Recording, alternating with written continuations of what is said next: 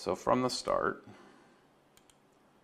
doing a quick device manager check since we were switching risers and stuff.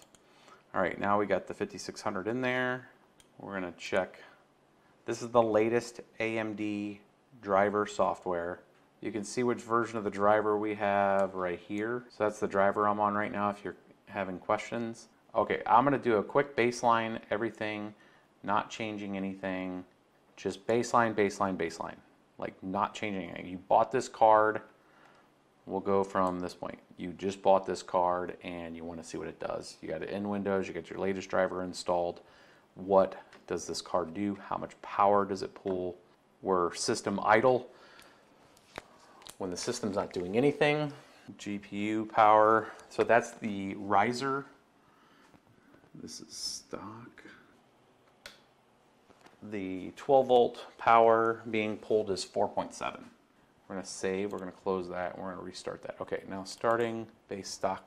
All right, so out of the box, you don't touching anything, we are at 40.6 mega hash, 190 watts, and that breakdown on power is, this is the ancillary power that's coming out of the 12 volt rail is pulling 62.9 watts and the riser is pulling 51.3. Take 51.3 plus the 62.9 gives you a total power usage of 114.2 and that means the system minus 190 means the system is using 75.8 watts of power. And let's do advanced controls. And we're going to take this all the way about to 1860. Fine, fine controls is, let's take this down to 1620. Take 100, shave off 100 megahertz there. Let's take this down to 925. We'll apply those changes and it doesn't look like it. It was looks like it was going for a minute and it looks like it just died on us here. So that looks like that is not stable. It was 43.1 and then it um, let's see here. We're going to go in here and we're going to make some fine controls here. We're going to change this to 1700. You know what? Let's go 1680. I think we can keep this a little, little lower. I think my problem here is, is the this core needed a little more. Let's give it 45. So we're going to do 1680. This is fun to do with folks watching. Okay, so we're at 43.184. So 43 mega hash. Let's see if it can hold 43 mega hash and not blow up on us. We, what we're looking for is good, good shares. That that's an that's a leading indicator that this job is going to end up going to zero. Like this is going to drop here soon. Now see down we're down to 42.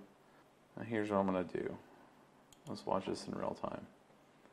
I'm going to feed it a little more vCore. Let's see if we can recover this instance. Let's go over here, let's apply that. Get a little more juice. Oh, oh,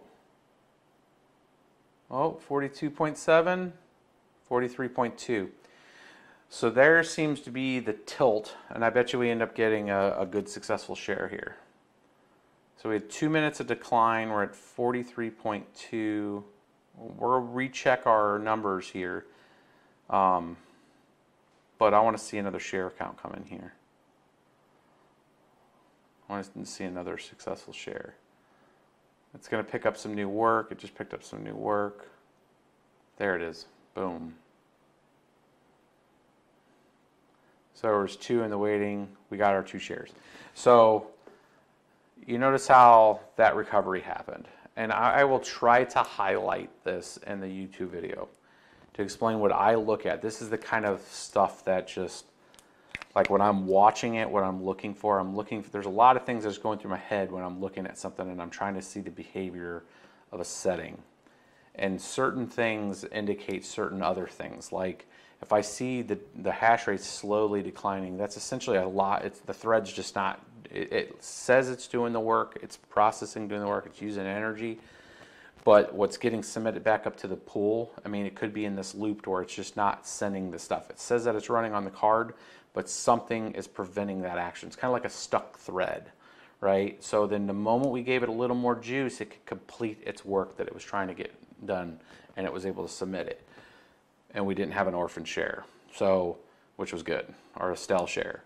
So just feeding a little more V-core seemed to be able to recover this process.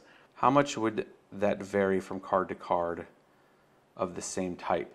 Um, so the error that I, we just saw there um, is like I've seen that on NVIDIA and AMD cards alike. It has everything to do with usually starving the power of the card out in some way. Like if you're messing with the V cores um, and you get some very weird, inconsistent results, or you see like a declining share count or a declining uh, um, issue with the mega hash, most of the time that had to do with like a lock thread and it just couldn't release and then it would just end up dying. It would end up just dropping it to zero because it actually frees the card up from being able to process any more stuff. And then it just drops off the list and the miner picks it up as a no activity.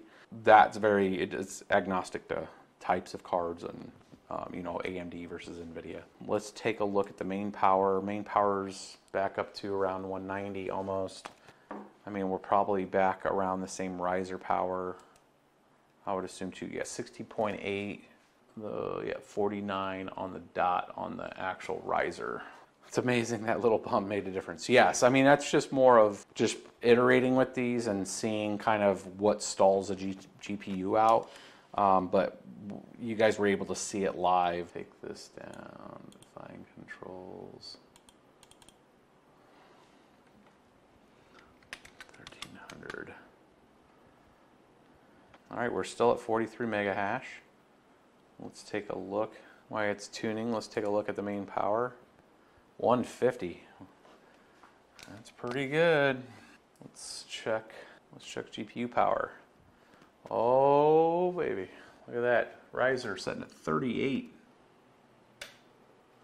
And we are at 40, 47 watts on the GPU 12 volt ancillary. So that's 70, 80, that's 85 watts, bros. So 43.1 mega hash at 85 watts.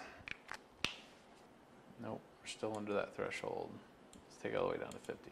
see what this drops to 39 with a negative 50 power limit. And we're gonna drop main power 134.6. And the riser power.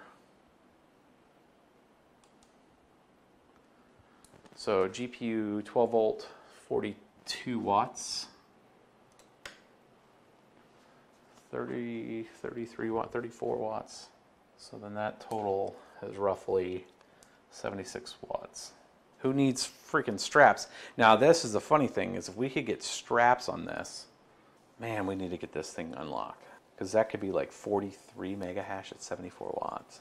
Yay, yay, yay. If you take a 5700 XT and you do a BIOS mod to do the straps, the 1500 straps, and you copy it down the, down the list, and you rebot mo- BIOS mod the 5700, you actually increase the total output of the power. Like it, it, it uses more power when you do that by about 30 watts.